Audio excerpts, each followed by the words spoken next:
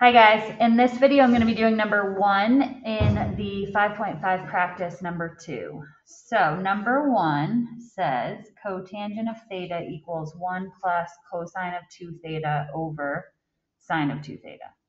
So what I see right off the bat, which is what we're working on right now, is the cosine of 2 theta and the sine of 2 theta.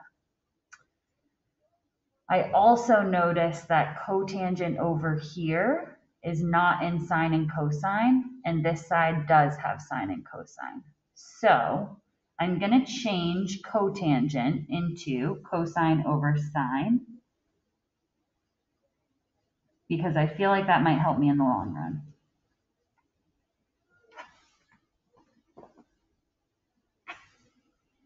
I don't really see anything else I can do on the left side, so I'm going to work into the right side.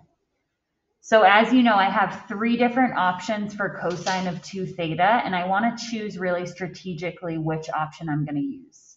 I only have one option for sine of 2 theta, so I can use that one right off the bat. So sine of 2 theta is 2 sine of theta cosine of theta.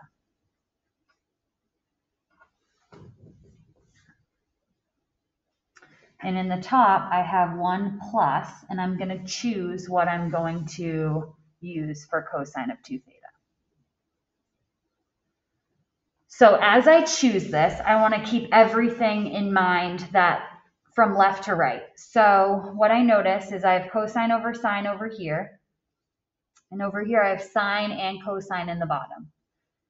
So if there were a way that I could maybe get this cosine to disappear, that would definitely be ideal. However, I have a plus sign up here, so I know I'm not going to be able to just cross something off. So I'm going to look over at my options over here. I don't really love the setup of this, so I'd prefer to look at maybe this formula sheet that I gave you in class, or maybe the one from the notes. So I have cosine squared minus sine squared, 2 cosine squared minus 1, and 1 minus 2 sine squared. So there's one of these three that I really don't want to use, um, and two of them look more ideal. So because I'm going to be adding it to one, I like the two that involve one. So I like I like 2 cosine squared minus 1, and I like 1 plus or 1 minus 2 sine squared. What I notice is that if I used this middle one, the one would end up canceling out because this is a positive one and the middle one has a negative one. So I'm going to use that one because I can see that that negative one is going to go away. So I'm going to replace cosine of 2 theta with 2 cosine squared minus 1. And I can see this is going to happen. So now on that side, I just have 2 cosine squared of theta over 2 sine of theta cosine of theta.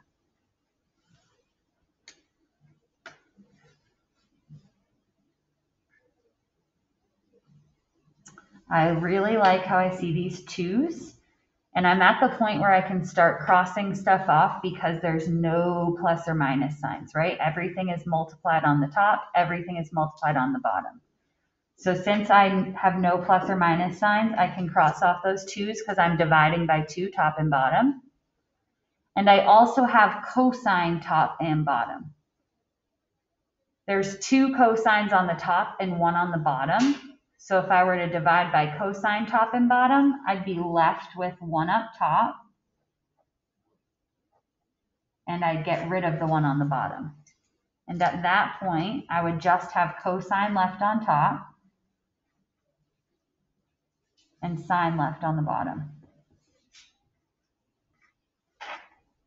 Which happens to be the same as the left side. So we are done. And we verified the identity. All right, so that is your first example. You guys are completing the remaining four for homework.